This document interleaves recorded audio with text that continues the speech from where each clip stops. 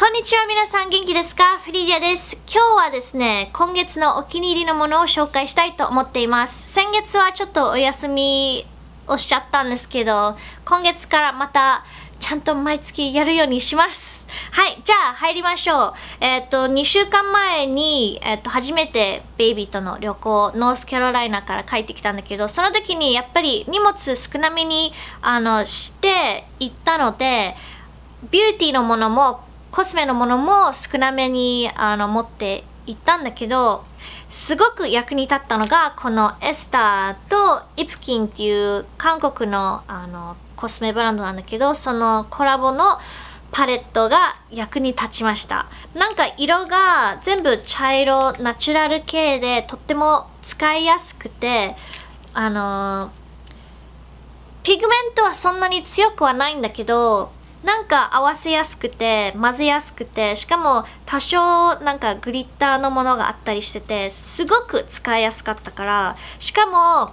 このパレットすごくちっちゃくて細いのね。だからあのちっちゃいカバンにも入れられるし持ちなんか持ち運ぶのもすごく簡単だししかも鏡も大きいからすごく使いやすいんだよね。結構こういうのって紙のパレットだったりしてここに鏡がなかったりこんなちっちゃい鏡しかなかったりするんだけどでもこれはすごく役に立ったのであのうん。あの旅行もそうなんだけど最近毎日のように使っていてでそのビデオも最近作ったのでもしよかったらそちらもチェックしてみてください。続いては最近日本の番組用にあのビューティーコンベンションに行ってきたんだけどその時にマクダディって有名なえーと、メイクアップアーティストもともとインスタグラムかな？でインスで有名になってもう今では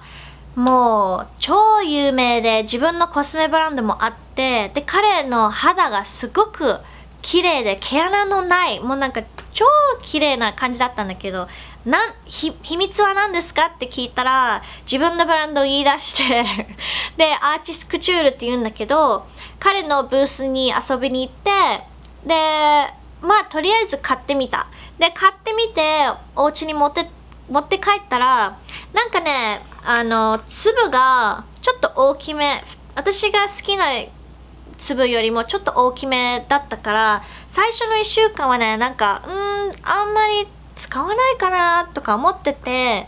でもある日使ってみたらすっごい褒められて なんかいろんな人に今日肌いいいいよとかなんか今日輝いてるよな何何何が違うってすごい気言われてだからそこからほぼ毎日のように使っているんだけどあの私が選んだ色は一番人気のイルミナリーっていう色ででどっちかっていうとちょっと黄色っぽいブロンズまではいけないんだけどまあ茶色が入っているあのものでで私は本当にほんのちょっとでいいので頬の上と鼻の上と唇のここの部分につけたりするのが好きでもう本当に毎日のように使っていて気に入ってます。でこの時にあの撮影してるプロデューサーとカメラの方女性だったんだけどみんなこれ買ったらみんな、えーと毎日のように使っていてすごく気に入ってます。だからうん、もしちょっとキランとしたなんかテカってる肌が好きであれば、えーと、おすすめだと思うんだけどちょっとマット系がいいっていう人は、うん、控えた方がいいかもしれない、うん、でも私は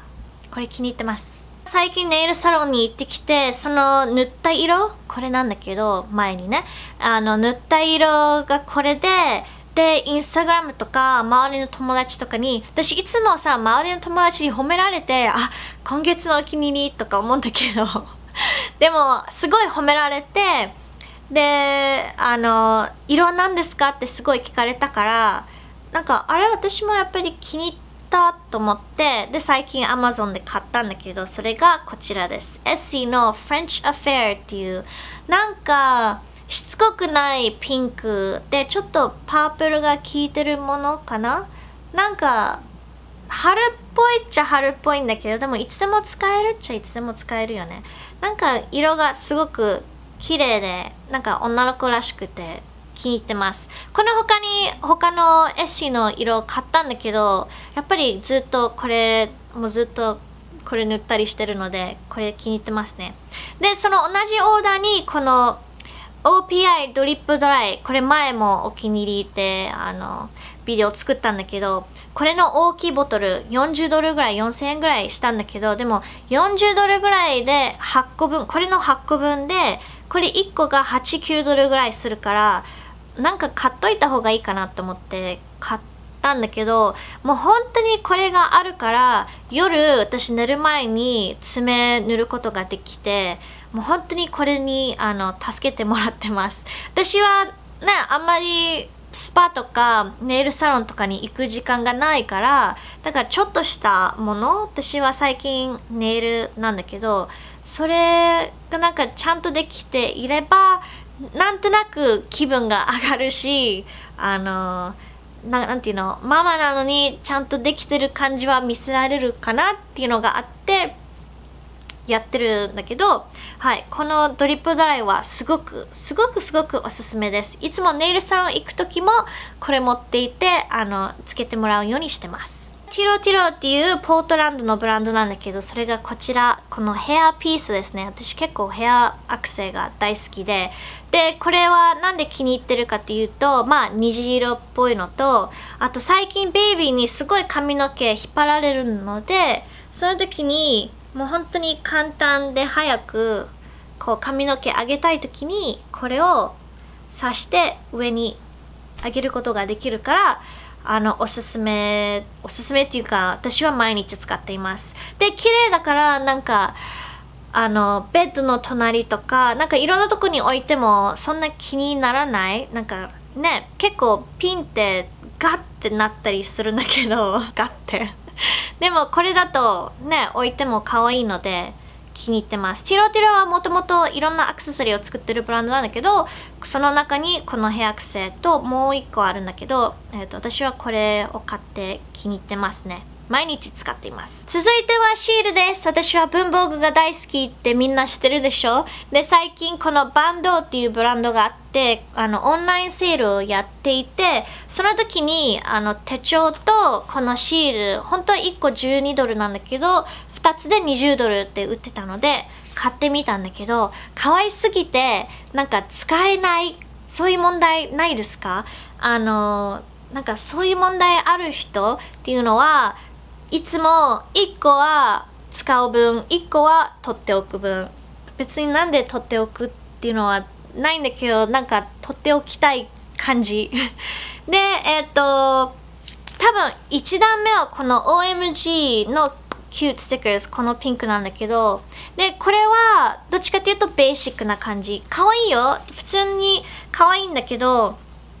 あのまあ定番じゃ定番。普通に使えるシール。で多分本当にシールが好きであればこの OMG の even cuter or even more cute このもっと可愛いシールの、えーと、ブックがおすすめだと思います。もう本当に何可愛すぎるなんかアーティストコラボしたりなんか本当にいろんな使い方ができるシール。So cute! 気に入ってますそして最後のお気に入りは、じゃんこちらです。最近インスタグラムにも載せたんだけど、これはショップボップっていうオンラインショップで買って、最近ショップボップはあの日本にもオープンしたので、ぜひチェックしてみてください。下の方にリンク貼っとくので。そこで、えっと、これはシンシンティア・ローリー。シンシンティア、ごめんなさい、日本語でどうやって言うかわからないんだけど、 Cynthia Rowley のサドルバッグなんだけど私もともとサドルバッグが欲しくて本当はなんかもうちょっとミニマルもう普段いつでも使えるようなものがいいかなと思っていろいろ調べたんだけどまあ値段がすごく高いのとなんか飽き飽きるかなとか思って買わなくてしかも今もうすぐ秋じゃない？もう秋か。で秋にちょっと 70s 風のが流行ったり自分の中ではなんかボヘミアンチックなものが最近ブームだったりするのでだからその気分に合わせてこれを買ったんだけどやっぱり気に入ってます。なんかディテールがすごく可愛いこのスタッズとかなんかいろんなねなんかわかんない。もう全部気に入ってるしで中もなんかちっちゃく見えるんだけど中はすごくたくさん入るしなんか下の方に広がっていくから本当にいつもこう驚くほど入れられるからすごく気に入ってます。なんかベイビーがいてもこういうベイビーグッズ入れられるのでもうめちゃくちゃ見て。はいすごく気に入ってます。可愛くない？ということで今月のお気に入りはこんな感じだったんですけどいかがでしたでしょうか？皆さんは同じものを使ったりしていますか？もし使っているのであればあのコメントで教えてください。こういうビデオが好きであればいいねボタンを最近新しいカバンを買ったのでえっ、とそのカバンの中身のビデオも作ってみたいと思うんだけど結構前に何回もやってるから皆さん見たいですか？もし見たいのであれば下の方にコメント書いてください。でそれを見て作るか作らないか決めますそれでは最後まで見てくれてありがとうございます登録してない方は登録してねそれではバイ Hey guys, it's Priya here, and today I am going to do my monthly favorites. I have a little baby here, so if you hear any like screaming, squealing, laughing, crying,